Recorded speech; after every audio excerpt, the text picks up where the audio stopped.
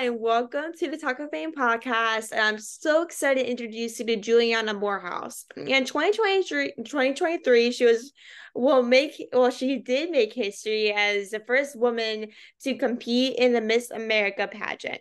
She was crowned Miss Maine in 2022 and she married her longtime sweetheart back in April of this year and will compete for Miss USA this fall.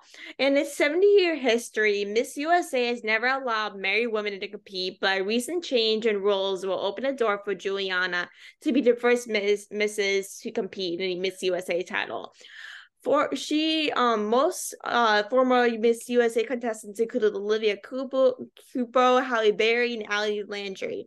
Though Juliana serves as Miss Maine USA, her family has a rich history in the Carolinas, where her mom being a former Miss North Carolina USA, in which she grew up in uh, North Carolina, and she graduated from the college College of Charleston in South Carolina, and she and her husband were engaged on the steps of the St.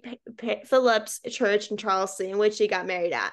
For the ceremony, Juliana wore a gown by Israel designer Pnina Tuma. It's hard to say the last name, but whose work is most known from television's Say Yes to the Dress and Sex in the City, and worn by such celebrities as Jennifer Gardner, Ashanti and T- Teresa Juicy. I'm so bad with names, but as a philanthropist, Ju- Juliana serves as a community educator with the Alzheimer's organization, providing presentations across Maine on the disease and how to prevent it. The sixth is a sixth leading cause of deaths in America, in which Alzheimer's is closely impacted by Julia's family, has prompted plans for her, for her to uh, assist in her in her effort for a cure. Juliana will also speak to women across the state of Maine in which it means to live a fulfilling and impactful life. Um, congratulations, Julia, on getting married and becoming Miss Maine. That's so exciting that you had this accomplishment. And thank you so much for coming on to chat with us at your busy schedule and taking the time. We really appreciate it. But um, like, how do you? I know, like, with having like starting a pageant career, there's always something that really inspires you to really get into that career field. Um, but what was that like for you? Like what really kind of got you inspired to start getting into pageant? So what sparked my interest was that my mom was Miss North Carolina USA in 1994. And so when I was about six years old, I became aware that my mom had been Miss North Carolina and had competed at Miss USA and I became quite interested in that. And I met people that she competed at Miss USA with, one of whom is like an aunt to me now. And I just saw what it did for her life. You know, I saw the com- community that she built, I saw the network that she built, and what it did in helping her launch a career in television news. So that was where I learned about the pageant world. And I competed in my first pageant when I was about 16 and then I won Miss Maine USA when I was 23, 23. So mm. um, it was about a what seven year period that I competed. Ooh, that's incredible. Like with having and growing up with your mom, you know, showing you kind of the rigs of pageants and kind of where to go and meet people to help you. Like, how did that kind of impact you to kind of know what you're doing rather than not having someone not in the pageant world? Like how do you think it helped you helped you?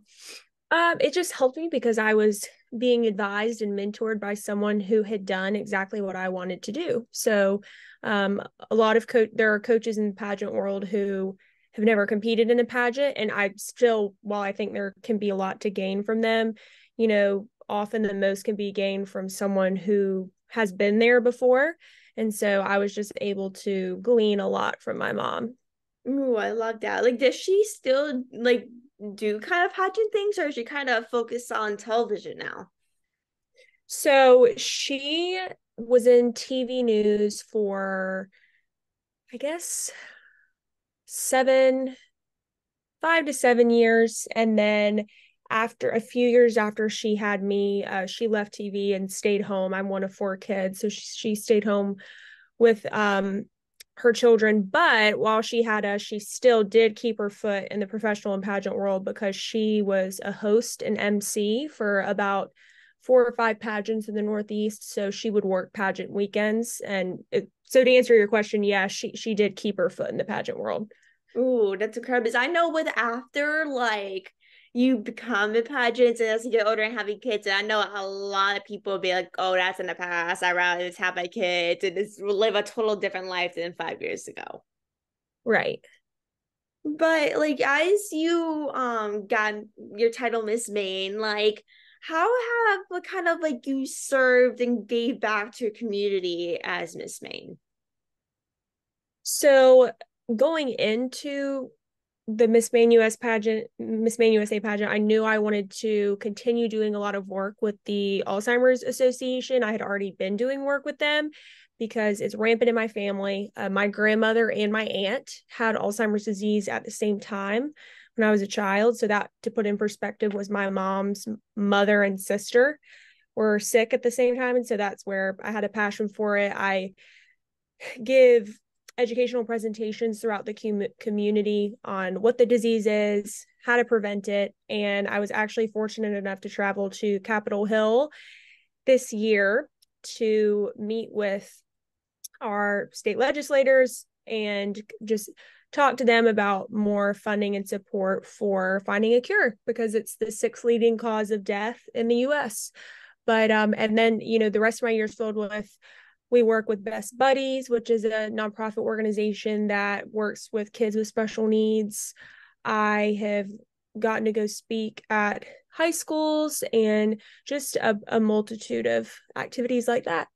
Ooh, like like when you like um your aunt your mother got diagnosed well your grandmother and right you said yes so with having them like kind of had that diagnosis, like how did it kind of like impact you? Like how did it I know with having um someone with Alzheimer's or having a, disease, it can make a toll on different family in different ways, mentally and physically, and how they want to make change for it. But like how did it really just impact you normally?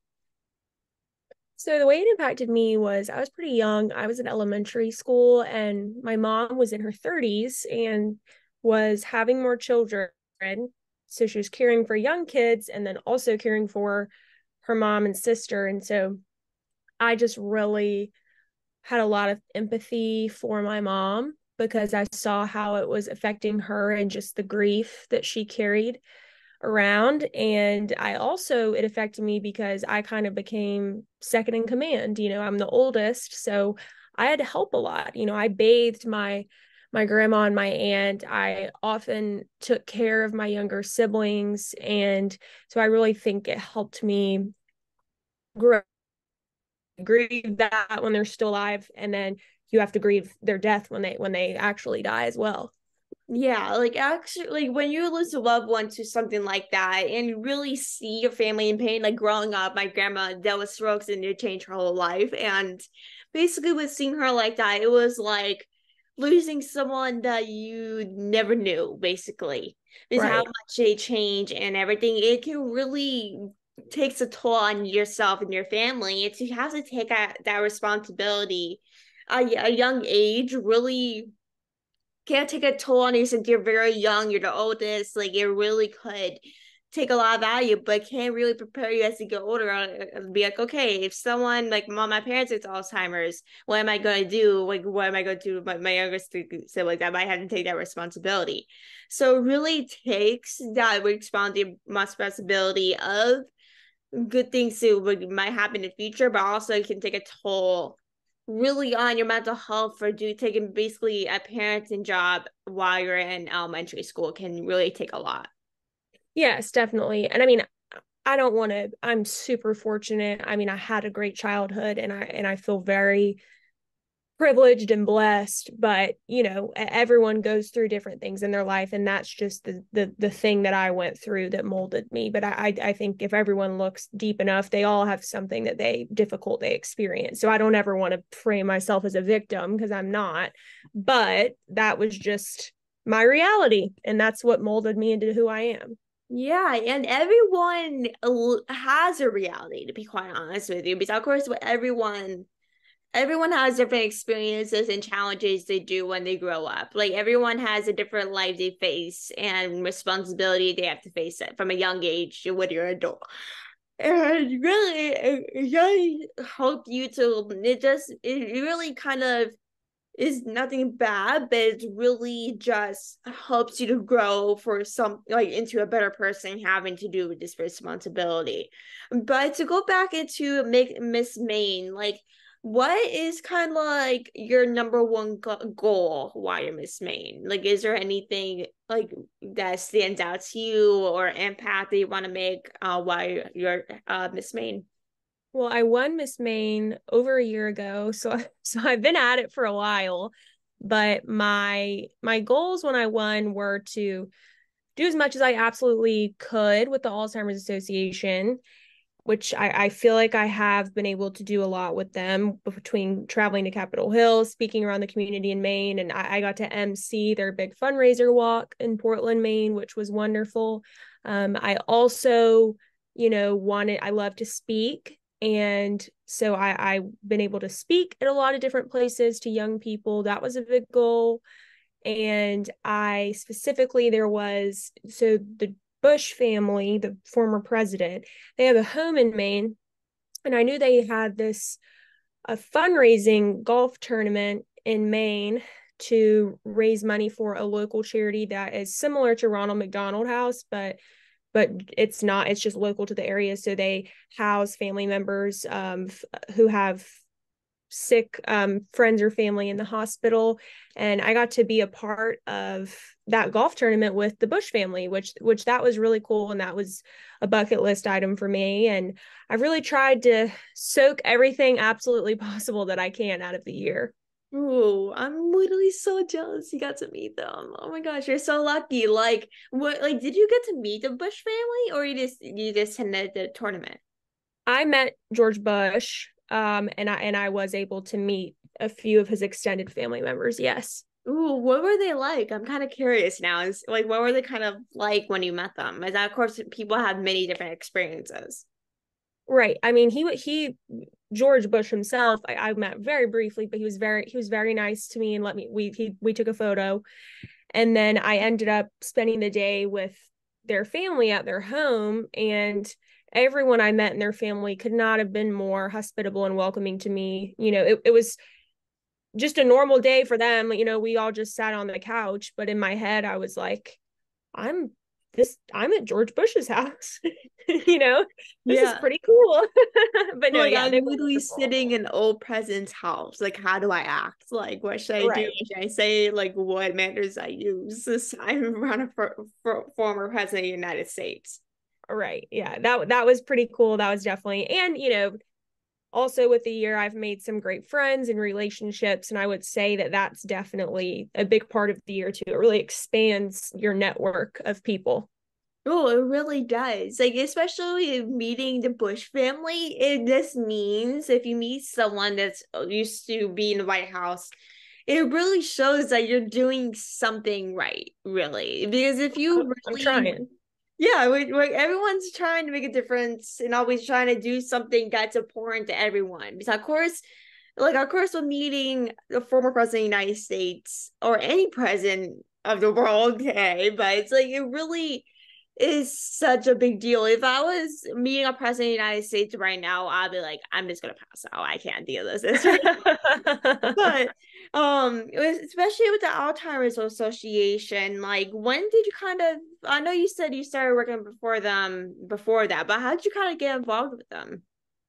So i would say my involvement started with them on a smaller scale when i was in high school. I had hosted a fundraising uh, bowling tournament at, with my high school and raised a few thousand dollars for the association in north carolina and then I did a lot of their walks to end Alzheimer's, which raised money for the association. And then when I came to Maine, I got heavily involved with them as a volunteer, just doing all kinds of speaking and, and educational presentations. And so I feel like I've learned a lot. And I actually, you know, through what I learned, and some of it's like information and education I seek out on my own just about brain health in general. But mm-hmm.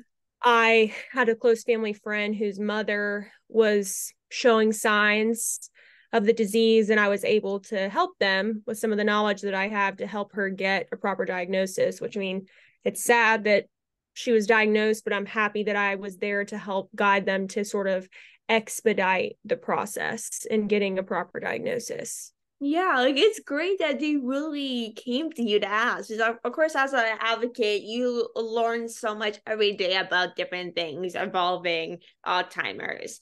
But right. what I know with many facts about Alzheimer's, it really surprises you in many ways. Like I know when I was reading some research early this morning, preparing for this interview, I was like, uh what? Like are you serious? But like what um or some things related to alzheimer's or resources that kind of surprised you throughout the process?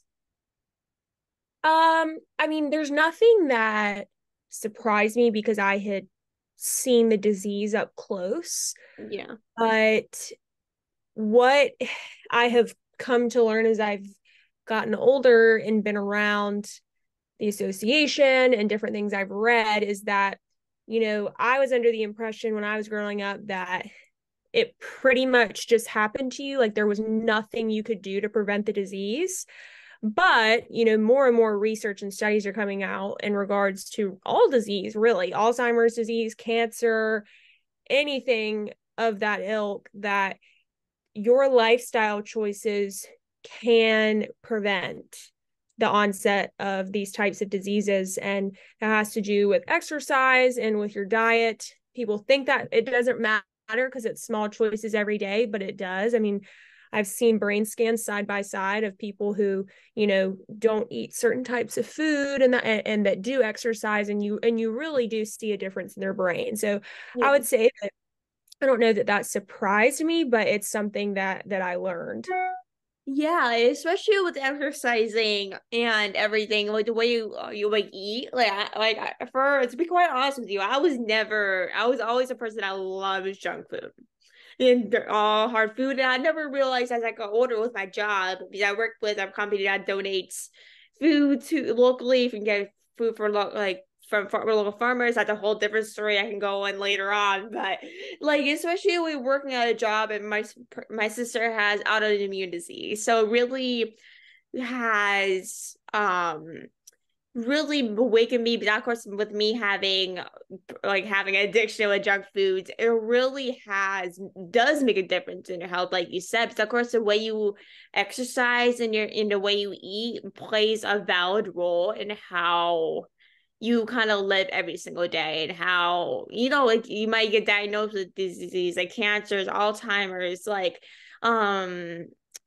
like there's so many things you can get diagnosed with if you're not exercising or eating the right foods but i'm i'm kind of curious as someone that's not really that doesn't know about alzheimer's community that much but um like like in your opinion like what are the best issue like what are the biggest issues in alzheimer's community right now um, well, at first, I would say a misconception about what the disease even is. Um, hmm. I, you know, a lot of people think that, first of all, they think that memory loss is synonymous with getting older, which is not true. Memory loss should not be a normal part of aging because it's yeah. not.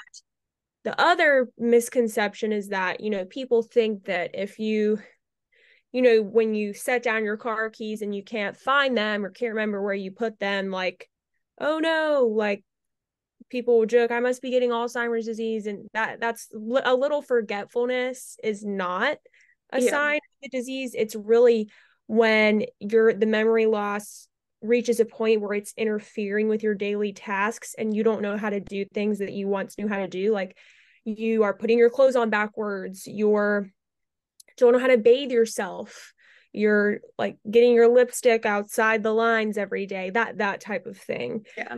Um and a lot of people don't realize that it's terminal it's a terminal disease you know if nothing else kills you first alzheimer's disease will kill you and in some cases, I mean, my aunt, when she passed away, she was a vegetable. I mean, she she didn't walk, she was in a chair, she couldn't speak.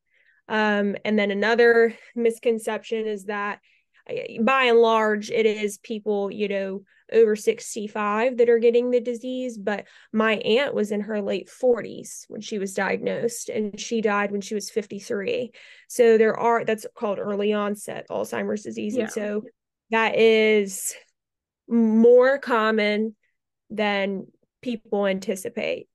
Yeah, because of course, with early Alzheimer's, um you sometimes do catch it in your late 40s or, or like early 40s but it's mostly very much known for people in probably in your late 50s early 60s but having alzheimer's you it can make you look like a vegetable. Like sometimes you just sit there and just stare at them like mm, I'm not gonna say anything. You speak all you want, but like, have you ever like, did you ever see Grey's Anatomy? I, I was wondering that. If, like, did you yes. um see the storyline um about Alice Grey and her Alzheimer's? Like, like did that have like it like impact on you uh, or surprise you in a way or it was kind of like oh this is kind of similar to what my aunt and grandmother went like kind of similar to like their story.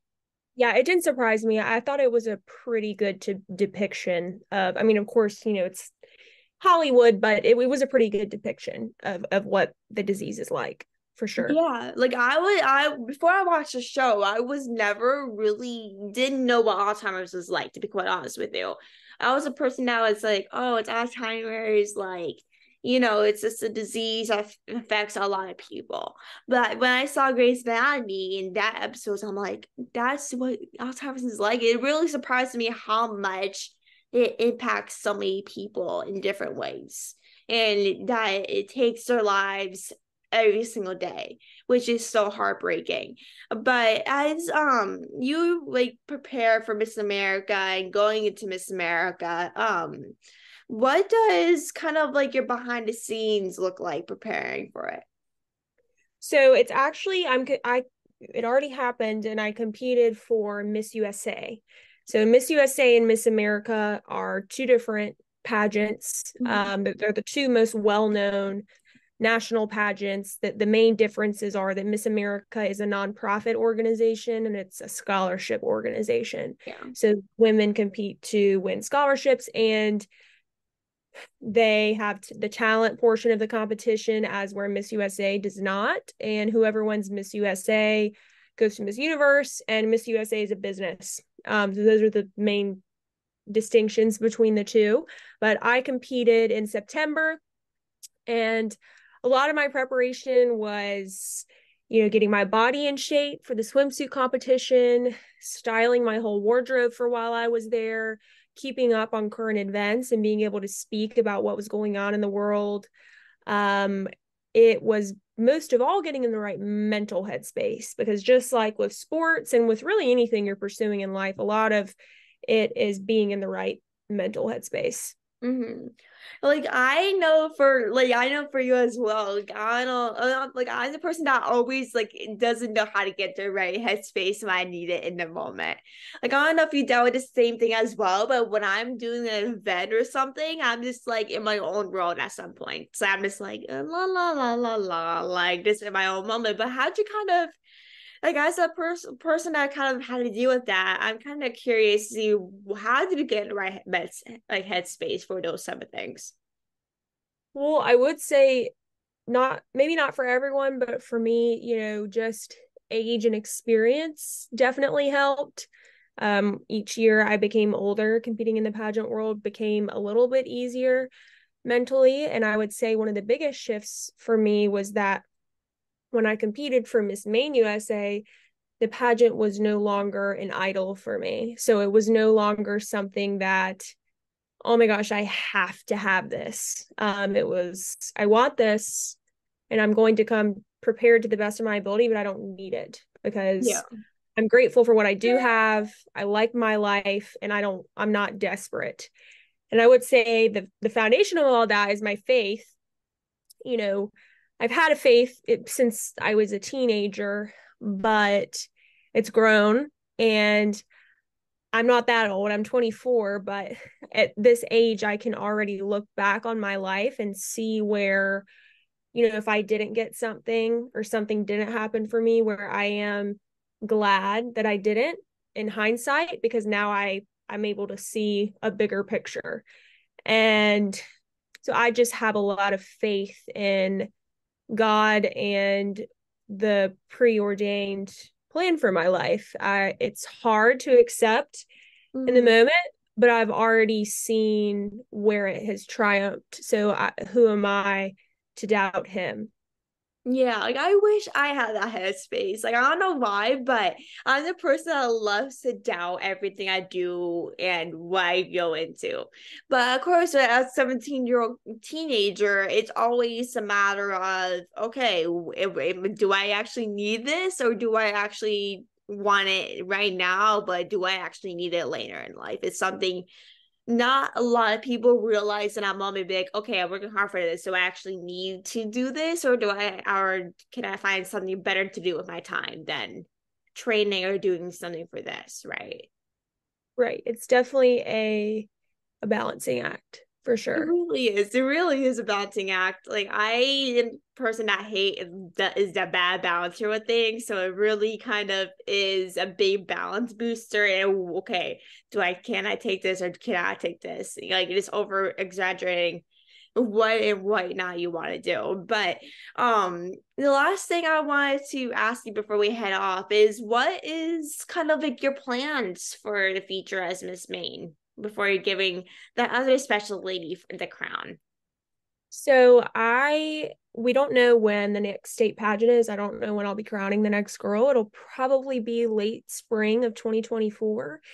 But I have some fun fun appearances lined up. I some Christmas parades this weekend, a photo shoot, and probably a few more Alzheimer's engagements and some sporting events. So fun things like that. And then just going forward with me and, and my life, I'm working on two master's degrees, one in theology and one in clinical mental health counseling. So my goal is to be a, a therapist and counselor.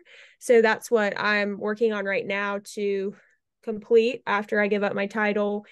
And I also love to write. I just wrote a freelance piece for a women's magazine that I love. And so I'm hoping to continue writing some freelance pieces for them as well.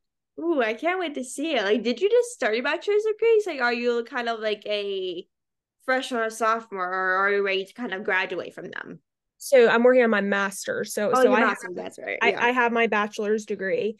Um, but I started one of them like little less than a year before I won Miss Maine. And then I took a lighter class load while I was preparing for Miss USA. And then I started my counseling master's program as well in the middle of my year as Miss Maine. So I've just been kind of doing a balancing act. I'll finish both within two years, um, and that'll include my all my clinical work as well. Ooh, that seems so exciting. It'll be like it'll just be there before you know it, right? Like this crazy how time goes by so fast, which is crazy. But I want to thank you so much, Juliana, for coming on the podcast. It was literally such an honor to have you. Like everything you're doing for Alzheimer's Association and to me as well is such is making a really big difference um it really like it's definitely needs to be more talked about alzheimer's because i know personally a lot, not a lot of people know specifically kind of what Alzheimer's is. So really we need more people like you speaking about this topic. And I want to thank everyone for coming on and listening. I hope everyone enjoyed this episode and thank you so much for coming on. I love speaking with you. Thank you for having me and thanks for giving me a platform to share my story. Of course. And I hope you have a great rest of your day. Thank you so much again. You too.